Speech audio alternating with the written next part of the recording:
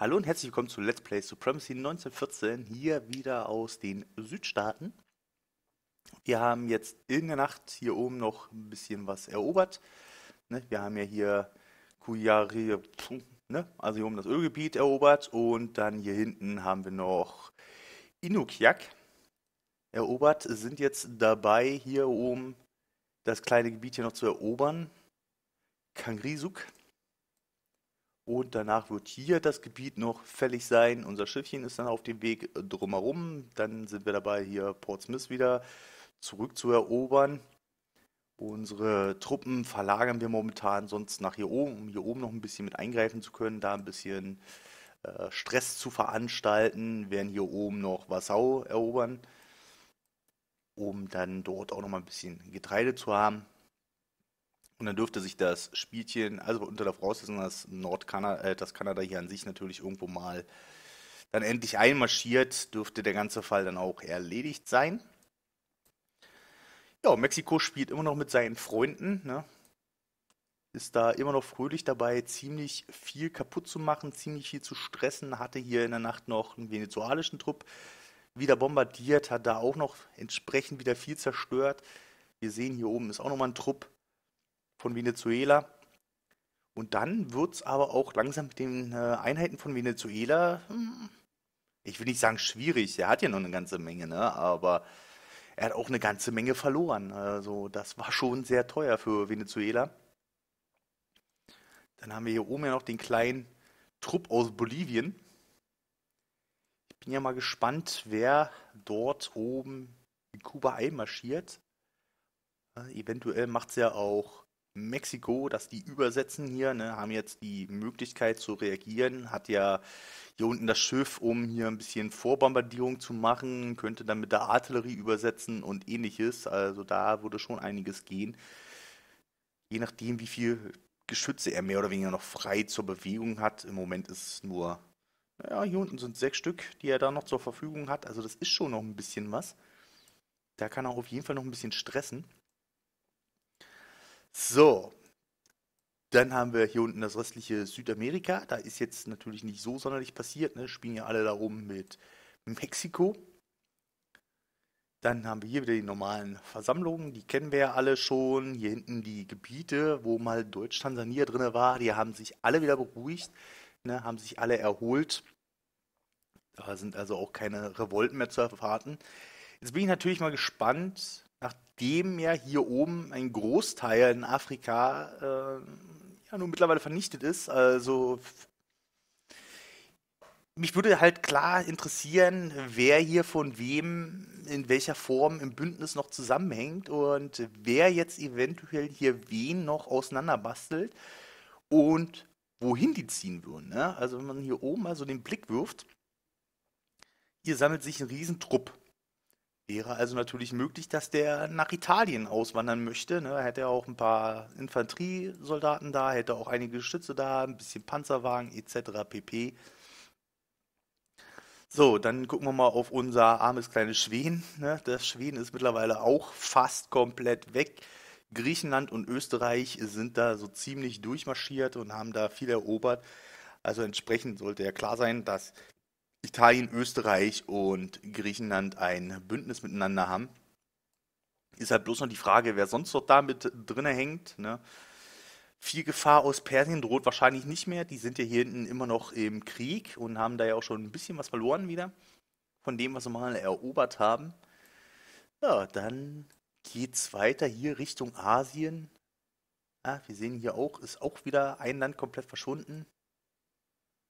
Und Neuseeland darf sich jetzt auch so gut wie verabschieden. Es ist nur noch die Hauptstadt übrig, nur noch Wellington. Danach ist es auch vernichtet. Hier oben hat äh, Niederländisch, Neuguinea sogar noch die KI mit erobert, die da unten rumgeschwört ist. Also von daher ist der mittlerweile sehr, sehr groß, sehr weit verbreitet. Können wir noch kurz einen Blick in die Zeitung werfen, was wir da noch alles Schönes rauskriegen. Venezuela, Peru. Naja, Peru oxidieren irgendwo ein paar Einheiten rum hier auf dem Wasser. Die wird Venezuela jetzt äh, weggehascht haben. Dann haben wir hier Irland, Schottland, Russisch-Kasachstan gegen Persien. Da hat Persien 62 Einheiten verloren. Das ist halt viel. Das ist halt richtig viel. Dann sind wir hier unterwegs, 29 zu 141. Dürfte sich auch noch ein bisschen verändern. Dann haben wir hier uns mit 19 und den Gegner mit 32. Dann haben wir Tasmanien gegen Niederländisch-Indonesien. Ne? Das ist unten das kleine KI-Gebiet gewesen, was er da erobert hat. Dann führt er hier oben auch noch Krieg gegen Niederländisch-Neuguinea. Dann haben wir hier wieder diesen schönen Brocken, ne? Venezuela, Mexiko, Venezuela 138 und Mexiko 3. Also das ist schon eine ziemlich heftige Ansage. Dann haben wir hier noch ein bisschen Krieg, konföderierte Staaten gegen Kanada. Und ansonsten viel, was gebaut wird. Österreich, Schweden. Russisches Reich Persien, da hat Persien 58 verloren. Das ist halt auch sehr viel. Mexiko wird auch entsprechend von vielen Spionen belästigt, um es mal so zu sagen. Haben noch ein paar Revolten, ein Spieler, der inaktiv geworden ist. Russisch Archangels, das müsste irgendwo im Norden liegen. Chinesisch Reich und Persien, da mischt sich also auch noch einer ein. Hier, das ist Persien. Der kriegt also wirklich hier von allen Seiten so ein bisschen auf der Mütze. Ob da noch dauerhaft viel machbar ist, russisch Archangelsk, ja, das ist hier oben das Gebiet. Das ist gar nicht mal so ein schlechtes Gebiet, ist ja auch sehr groß und sehr äh, weit verbreitet mittlerweile. Ne? Wir erinnern uns, wir haben mit acht Provinzen begonnen. Ja, dann ist das momentan soweit der Stand. Wir machen ein kleines Päuschen. Bis dahin sollten wir dann hier unten auch das Gebiet zurückhaben, sollten eventuell hier oben einmarschiert sein und haben eventuell dann auch schon hier Wassau erobert. Ja, mal gucken, die Artillerie. Ich hoffe dann, wie gesagt, dass Kanada hier noch einen Trupp runterzieht, dass der dann das da erobert. Dann können wir hier hinten sogar noch mit der Artillerie ein wenig Unterstützung äh, bringen und liefern. Aber das liegt ja nicht an uns. Wie gesagt, ich hatte ja eh schon die Hoffnung, dass Kanada ein bisschen schneller vorwärts kommt, aber okay. Machen wir erstmal einen kleinen Cut. So, wir sind wieder zurück. Ich habe hier Frieden gemacht mit dem anderen Land. Ne? Das sind ja hier alles Provinzen, die ja eigentlich an Kanada gehen sollen. Und bevor hier hinten der hier nochmal blöd rumkaspert, habe ich gesagt, okay, mal Frieden und dann sollen die sich da oben alleine rumärgern. Ja, das wird schon passen. Wir sind ja hier hinten noch mit Britisch-Kanada beschäftigt, sind auch gerade dabei auszuschiffen und hier rüber zu kommen. Unser Schiffchen ist auch fast da, kann da oben noch ein bisschen Stress verbreiten. Dann werfen wir mal einen kleinen Blick hier unten nach Südamerika. Da ist halt Mexiko noch beschäftigt, hier irgendwo ein bisschen rumzubomben und die Leute ein bisschen zu nerven. Dann haben wir hier Afrika. Oh, das sieht hier nach neuem Krieg aus. Oh, dann müssen wir gleich nochmal die Zeitung gucken. Dann haben wir noch Europa. So, Schweden hat sich erledigt. Schweden ist damit auch weg von der Karte. Ein weiteres Land, das gegangen ist. Persien löst sich auch langsam auf. Dürfte dann auch bald gehen. Hier hinten spielt Japan jetzt auf einmal mit. Okay, hier ist dann also auch noch viel Highlife. Gucken, wer dann da jetzt noch dran ist.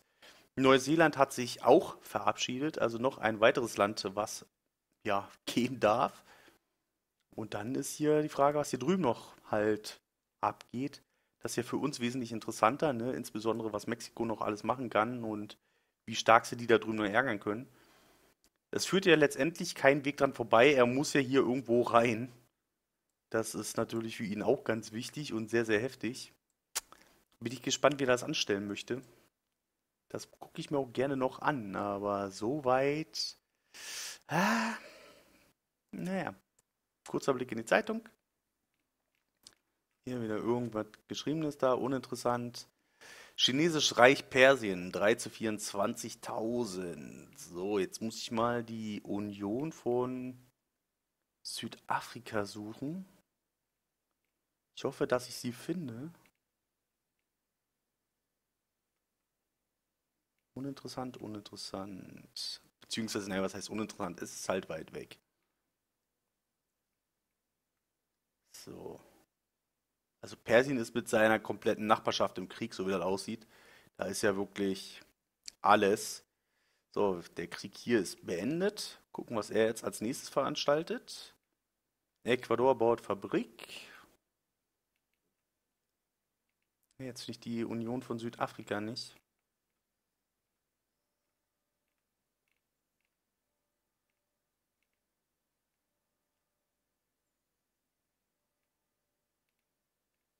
Nee, ich finde die. Nee, finde ich so auf die. Die weiß ich nicht. Also da muss ich nochmal in Ruhe suchen. Da jetzt hier neue Spieler vom Platz gegangen sind, müssen wir auch erstmal gucken, wie der allgemeine Zwischenstand ist, ne? Wer denn jetzt noch alles weg ist, also wie viele jetzt überhaupt noch auf der Karte rumspielen, ne? Also hier hinten, das hier macht mir noch Sorgen, ne? Also das ist ja nicht gerade unklein, sagen wir es mal so.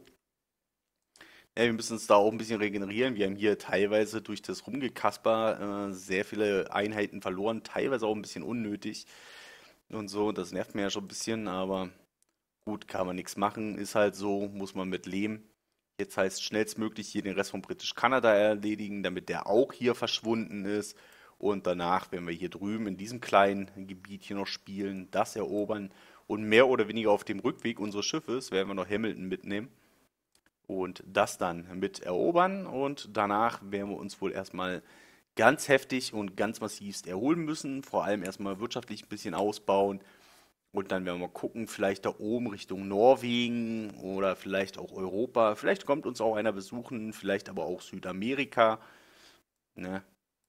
Ecuador soll ja ein schönes Land sein, vielleicht kann man da auch einmarschieren. Haha, viele Grüße an dich so ganz nebenbei.